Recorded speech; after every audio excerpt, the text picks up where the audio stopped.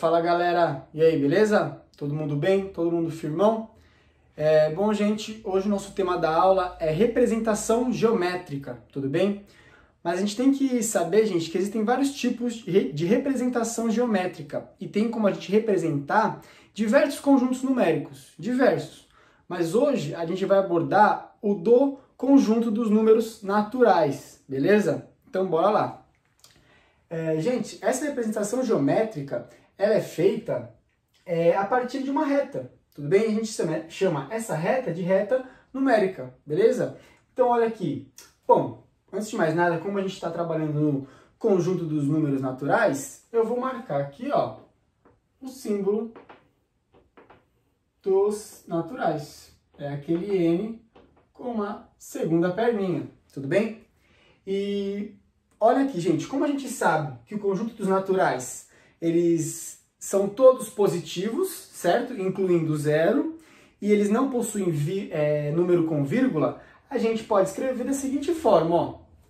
0, 1, 2, 3, 4, 5, 6, 7 e assim por diante. Lembra? A gente tem que lembrar que os números eles são infinitos. Então, como a gente está tratando do conjunto dos números naturais, eles são infinito propositivo, beleza? E eles começam aqui no zero, essa representação, tudo bem? E, então vamos lá para as características de uma representação geométrica, tudo bem, gente? Ó, a primeira característica é a seguinte, ó, espaços iguais entre os números. Bom, gente, vocês podem não estar tá percebendo muito, mas o espacinho que eu tenho entre cada número, ele é igual, tudo bem? Então, vai lá na sua casa, é, ou na escola mesmo, pega uma régua, traça uma reta e divide o espaço entre cada número de uma forma igual, tudo bem? Essa é uma das características da representação geométrica, beleza? E ó, olha uma, um outro, uma outra característica, é o seguinte, ó. O número que estiver à direita de outro número é sempre maior. Então, o que, que quer dizer pra gente essa característica? Ó, vamos ver bem, ó. Bom, vamos pegar o número 3, tudo bem? Vou pegar aqui o número 3, ó. E a característica essa característica nos diz que todo número que estiver à direita do meu número escolhido quer dizer que o número do outro lado ele é maior do que o meu escolhido. Então vamos ver, ó. A gente pegou aqui o número 3 e vamos olhar para a direita do nosso número. Bom, a gente sabe que o 4 ele é maior do que o 3, certo? E ele está à direita do nosso número. Então, tudo bem. O 5, o 5 também está à direita do nosso número 3 e o 5 ele é maior do que o 3. Então, confirmou a nossa característica, certo? E se a gente pegasse qualquer número que estivesse à direita, vamos supor 100 está à direita né, do número 3, a gente sabe que o 100 ele é maior do que o 3, então essa característica está correta, tudo bem? A gente viu que todo número que está à direita de um outro número é maior, né? Então, ó, se a gente pegar, por exemplo, aqui o 5, ó, pegando o 5 aqui agora, a gente sabe que se eu pegar os números à direita, são maiores. Então, 6, 7, 8, 9, 10 e assim por diante, até o infinito positivo, né? Ele é maior todos os números que estiverem à direita, tudo bem? E olha a segunda característica aqui, ó, gente. É, o número que estiver à esquerda de outro número é sempre menor. Bom, é basicamente o inverso da nossa outra característica que a gente acabou de ver, né, gente? Então, ó, vamos continuar com o nosso número 5 aqui, ó. Vamos pegar o nosso número 5 e vamos olhar para a esquerda dele. Ó, olhando para a esquerda, a gente consegue ver que tem o 4. E bom, a gente sabe que o 4 ele é menor do que o número 5, né? Então, essa característica a gente comprovou agora. Porque, ó, a gente escolheu 5, né? E se eu olhar para a minha esquerda, vem o 4. E a gente sabe que o 4 ele é menor do que o 5, tudo bem?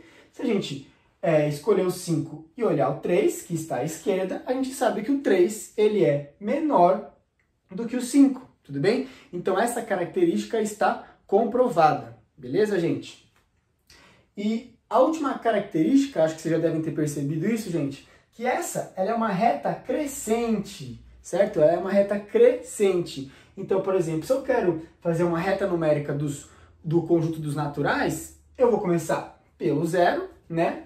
Ou pelo zero aqui. E como não tem um número, é, números negativos e nem números com vírgula, o que eu vou fazer? Eu vou somar um, certo? Lembrando que o espaço é igual, então se eu tenho aqui zero, o meu próximo número é o 1. O meu próximo número é o 2, 3, 4, 5, 6, 7 e assim por diante. Então percebam que é essa reta ela é de ordem crescente, tudo bem, gente? Crescente. Eu não posso, neste caso aqui, gente, colocar, por exemplo, 0, 2 e o 1 depois à direita do número 2, né? Não posso fazer isso porque é uma reta crescente. Se eu coloco, por exemplo, aqui, ó, vamos fazer um exemplo.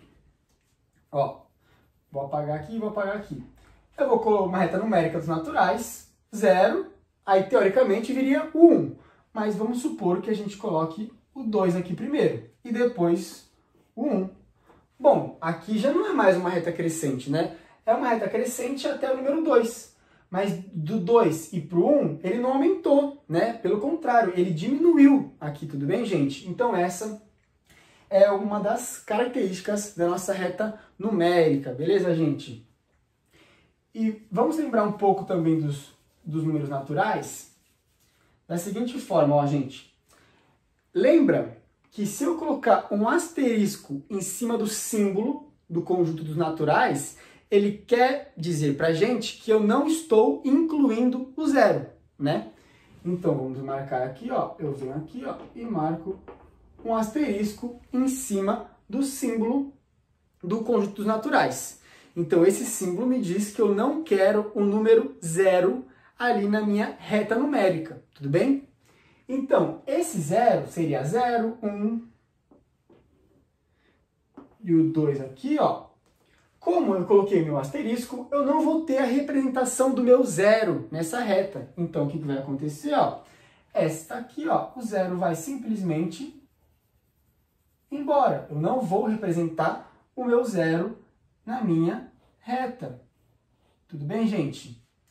E, bom, essa é a aula de representação. Espero que eu tenha ajudado vocês. E é isso, galera. Continuem firmes nos estudos e um grande abraço. Valeu!